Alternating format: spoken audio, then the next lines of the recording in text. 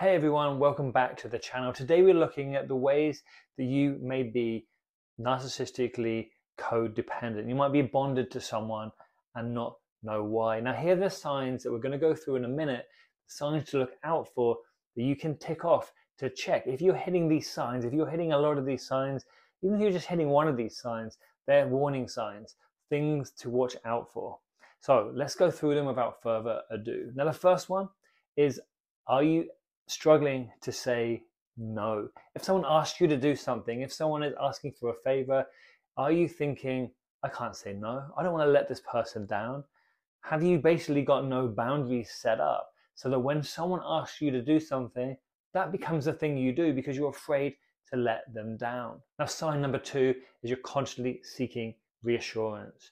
You're wanting people to tell you that it's okay, that you're okay, that you're enough.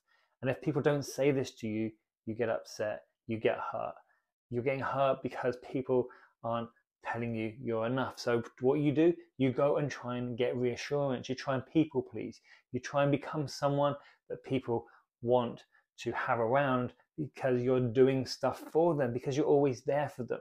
If this is you, if you're finding that you're looking outside for reassurance, for validation, this means that you are likely in a codependent relationship. If you're always looking to that one person, you are likely in a codependent relationship with that one person. If you're looking to them for reassurance, rather than looking to yourself, rather than going to yourself and going, you know what, you're enough. Looking in the mirror and saying, I love you. If you can't look in the mirror and say, I love you, likely you're struggling with issues of codependency.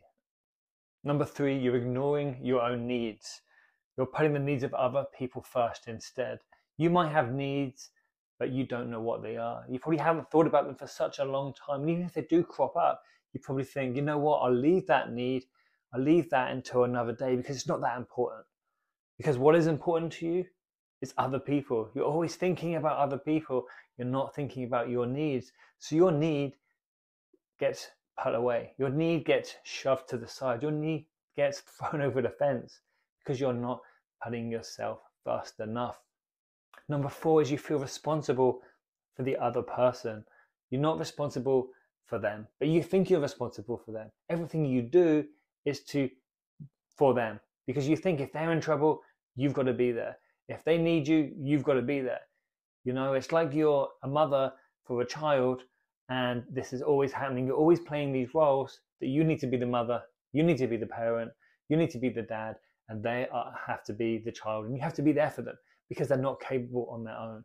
So you're thinking, oh, I got to make sure that I'm always there. What do they need? Do they need anything? I can't let my baby cry.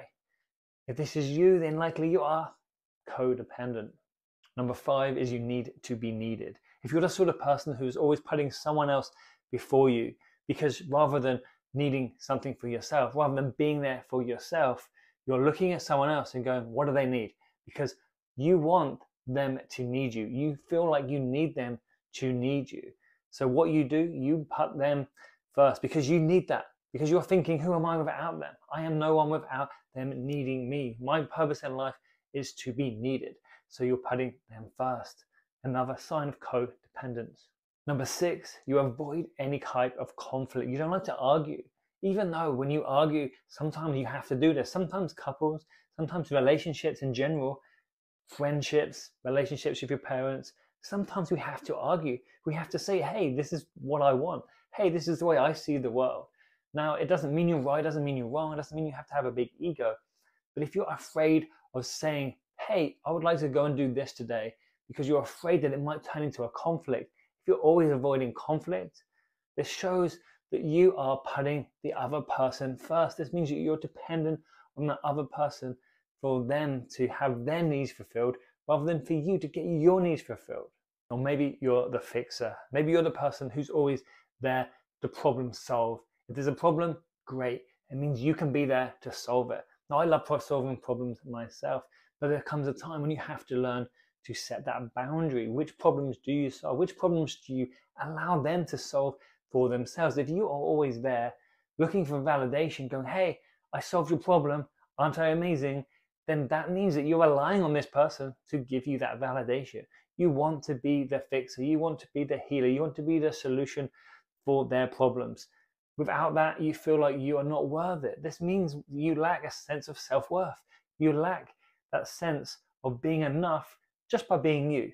You don't have to solve, fix a problem to be enough. Number eight is you don't have a purpose. You don't have a direction. You don't have a North Star to follow. So when you do this, what you do, you give the map to someone else and you say, hey, where are we going? And they say, hey, we're going this direction. And you're like, okay, I will just follow along. Now, this only works for so long until you start to feel like, I don't know what is going on anymore.